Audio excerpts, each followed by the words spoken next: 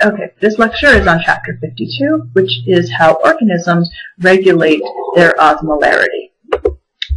So we use excretory systems in order to control the amount of our fluids, the concentration what's dissolved in our fluids, um, and the composition of the fluid that's surrounding our cells. Um, and then it's also used to get rid of waste material, which we'll see at the very end of the lecture. Um, physiologists use the term osmolarity when they're talking about osmosis. So we'll be using this term osmolarity when we're talking about the fluids of um, organisms. And remember that animals like to be in an isotonic environment. So they want to have their extracellular fluid the same um, osmolarity as their intracellular fluid. Um, because remember, if there's a concentration gradient, water is going to move from one place to another. And animal, for the most part, we don't want that to be happening.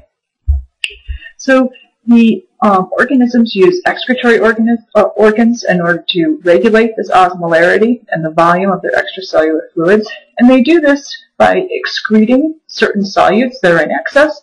And so we have sodium chloride, for example. We get rid of it through this process. We also use it to conserve certain solutes that are valuable or in short supply, for instance, glucose. And the output of this whole process is urine. So urine is, for a closed circulatory organism, blood waste. But it's the waste product that's produced through this excretory system. And um, the chapter goes on, and you don't have to um, know the different organisms and their different excretory systems anymore. However, all excretory systems have three kind of processes in common. Um, first is filtration, and generally this is done with positive pressure. So the um, fluid is under positive pressure, which forces material through a membrane.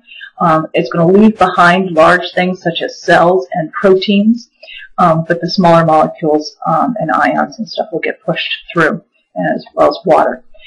Um, then there's a process of secretion where um, that filtrate can then be modified. Additional things can be added to it that are not needed. And then reabsorption occurs where materials that are needed, um, for instance, water, um, can be reabsorbed, and that's going to concentrate the urine. And the concentration of urine, especially with a terrestrial organism, is important because you don't want to be losing a lot of water through this process.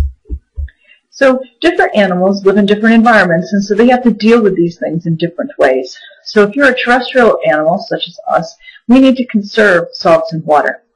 Um, that's why, like, if you're exercising a lot, you'll drink like Gatorade. That's to help replenish some of those salts that are lost through sweating um, and the water. Freshwater animals have an opposite problem. They need to conserve these salts, but they have an excess of water. So here is a unicellular protist, and this organism lives in a freshwater environment. So inside of the cell is more concentrated than the outside of the cell.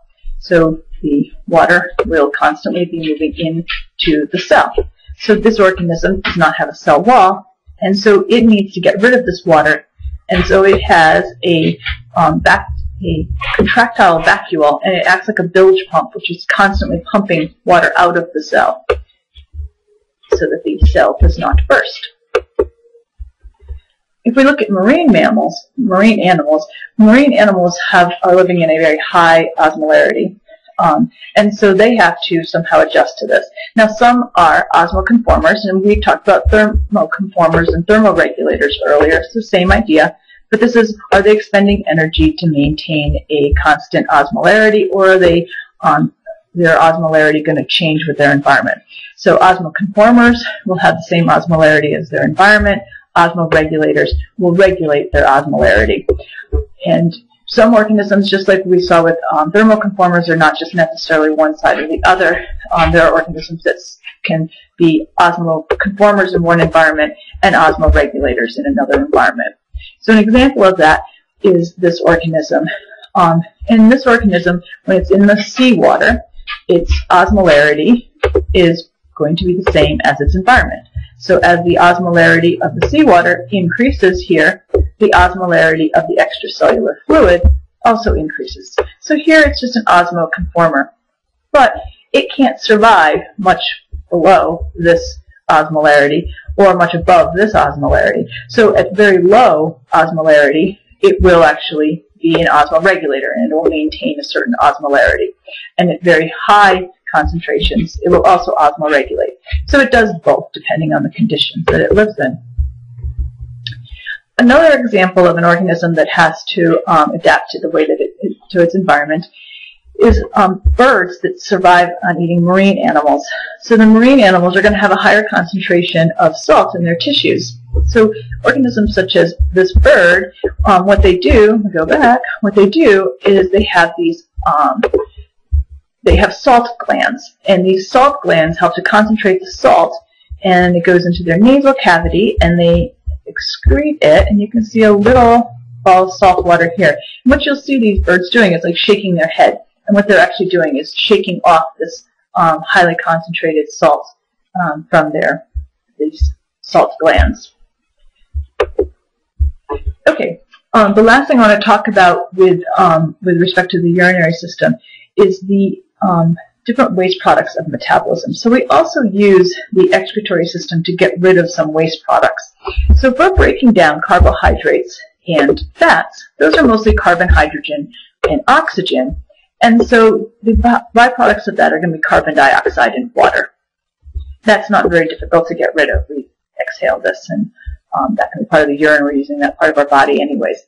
Um, however, when we're breaking down proteins and nucleic acids, we are producing nitrogen. And the nitrogen is a little more of a problem to get rid of.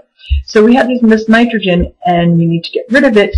Um, it ends up being toxic to our body. So most organisms actually convert it into ammonia. Ammonia is highly toxic, but it's very soluble, so they just secrete it into their environment if they're in, a, in, a, um, a, uh, an aquatic environment, a marine environment, and as long as they're not uh, like a fish kept in a very small fish tank and the water not clean, they don't have a problem. Dilution is the solution, right? Um, now, marine uh, ma uh, land mammals have a little more of a problem. Land animals have a little more of a problem. So we can't afford to lose that much water in this dilute ammonia.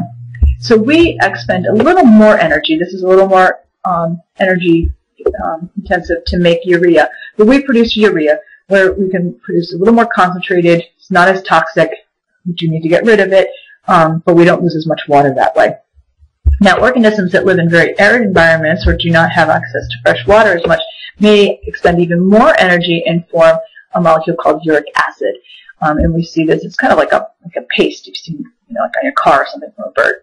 Now, organisms, again, are not necessarily going to be only produce urea or only produce uric acid. Um, most organisms are producing all of these, but maybe primarily one. So, for instance, us, we produce primarily urea. However, we do make some ammonia, and we do produce uric acid as well. Uh, I don't know if you've heard of the disease called gout.